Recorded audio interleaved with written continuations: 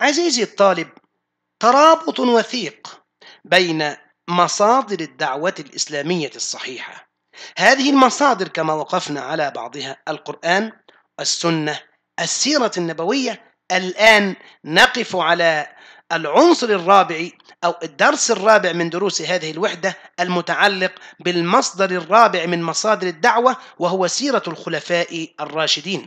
لا يمكن لباحث في الدعوة أو للداعية أيا كان لونه أو منهجه ومذهبه أن يغادر الحديث عن السيرة التي تشتمل على ما كان عليه صحابة النبي صلى الله عليه وسلم.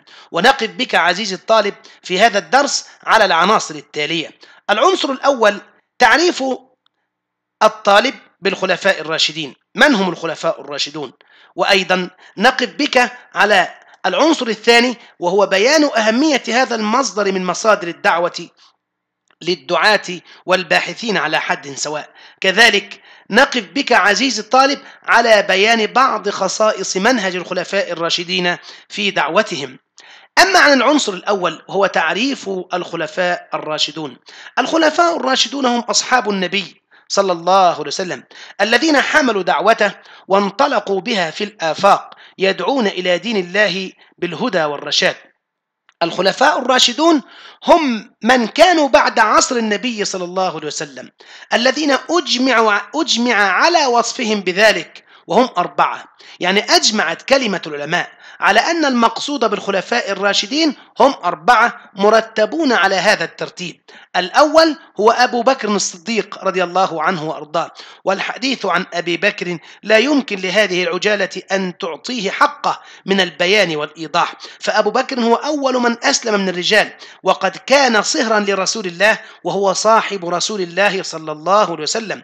أبو بكر الصديق صاحبه في الغار إذ يقول لصاحبه لا تحزن إن الله معنا. وقد أبلى أبو بكر بلاء حسنا في نصرة دين الله وقد تولى أمر الخلافة بعد رسول الله صلى الله عليه وسلم فكان كالجبل الأشم إذ مات رسول الله صلى الله عليه وسلم وانتقل إلى الرفيق الأعلى فكان أبو بكر كالطود العظيم في الثبات على الإيمان الصحيح بوفاة النبي صلى الله عليه وسلم.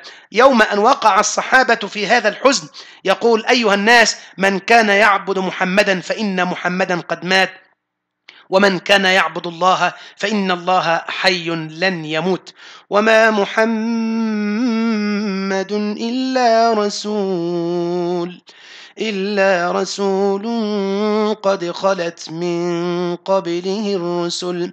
أفإن مات أو قتل انقلبتم على أعقابكم ومن ينقلب على عقبيه فلن يضر الله شيئا وسيجزي الله الشاكرين. يقول عمر فوالله لكأني أسمعها الساعة. هذا هو أبو بكر الصديق الذي ولي الخلافة بعد رسول الله. يأتي في المرتبة الثانية عمر وعمر كون أنه في المرتبة الثانية لا يعني أنه قليل المكانة وإنما ترتيب زمني لا غير. كان عمر رضي الله عنه يمثل الخليفة الثاني بعد أبي بكر الصديق وقد كان عمر ممن نصر الله به دعوة الله تبارك وتعالى التي قال عنها النبي إن الله عز وجل نصر هذا الدين بأحد العمرين. اللهم انصر هذا الدين بأحد العمرين كان عمر بن الخطاب رضي الله عنه وأرضاه الذي كان قد أسلم وهاجر مع رسول الله كانت هجرته فتحا للأمة كما قال أصحاب النبي صلى الله عليه وسلم. كذلك عثمان بن عفان صهر النبي صلى الله عليه وسلم الذي تزوج بنتيه.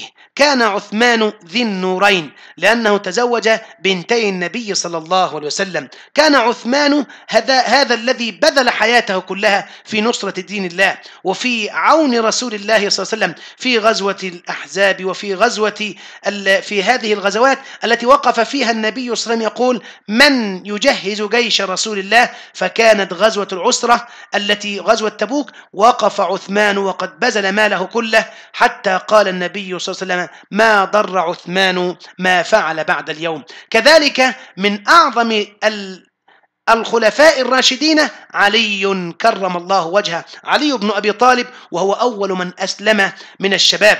وقد كان ابن عم رسول الله صلى الله عليه وسلم علي بن أبي طالب ذاك الذي كان متزوجا من فاطمة رضي الله عنها وهو ذاك الطود العظيم والذي ما أعطى لنفسه مكانة أرفع من مكانة السابقين بل كان يجلهم ويحترمهم. وهكذا كانت أخلاق الصحابة رضوان الله عليهم أجمعين. وأعطى الخلفاء الراشدون لمن بعدهم دروسا في التواضع والأدب الجم والحب لمن كانوا من ذويهم وقرنائهم من أصحاب النبي صلى الله عليه وسلم. هؤلاء هم الخلفاء والحديث عنهم لا ينتهي لكن الأمر لا يحتاج إلى السعة. كذلك رضي الله عنهم أجمعين كذلك من بين هؤلاء أو من أهمية درسنا دراسة درسنا الوقوف على أهمية الدعاة الذين لا بد أن يترسموا خطى سيرة الخلفاء الراشدين. إن أهمية وقوف الداعية على سيرة الخلفاء الراشدين تنير له الطريق وتفسح له المجال وتحدد له الغاية التي يسير من أجلها إذا ترسم خطاهم رضي الله عنهم. من بين هذه الأهمية إن الباحث عندما يقف على سيرة النبي صلى الله عليه وسلم وسيرة الخلفاء الراشدين من بعده وخلافتهم الراشدة كان بذلك يسير على منهج النبي. لأن الأمر هكذا سار الصحابة الخلفاء على منهج النبي. والنبي صلى الله عليه وسلم كان له طريقة كانت له طريقة. هذه الطريقة هي تطبيق لما جاء في القرآن الكريم. فالذي يسير على القرآن يسير على طريقة النبي ويسير على طريقة الخلفاء. هذا هو الترابط الجم والمنهج الصحيح. كذلك أمر النبي صلى الله عليه وسلم باتباع سنتهم في قوله عليكم بسنتي. وسنة الخلفاء الراشدين المهديين عضوا عليها بالنواجذ وإياكم ومحدثات الأمور فإن كل بدعة ضلالة. هكذا ربط النبي بين الداعية وبين أصحابه أي سيرة الخلفاء الراشدين. كذلك لا نستطيع أن نغادر الحديث عن بيان خصائص منهج الخلفاء حتى يتأسى بهم الدعاة في دعوتهم. لقد كانت خصائص هذا المنهج أو كان هذا المنهج يقوم على ما يعرض لهم من قضايا يسير على هذا المنهج أو على هذا المنوال. وهو تقديم النظر يعني كان منهج الصحابة تقديم النظر في كتاب الله أولا. ويتبعونه بك الحديث بالاستنباط من سنة النبي صلى الله عليه وسلم يعني ثانيا والثانية مرتبطة بالأولى. ما كان الخلفاء الراشدون ومن بعدهم كبار الصحابة أن يغادروا الحديث عن الكتاب والسنة معا أولا. وثانيا يشاورون من كبار الصحابة في الأمور التي لم يأتي بها نص من كتاب الله أو سنة نبيه صلى الله عليه وسلم.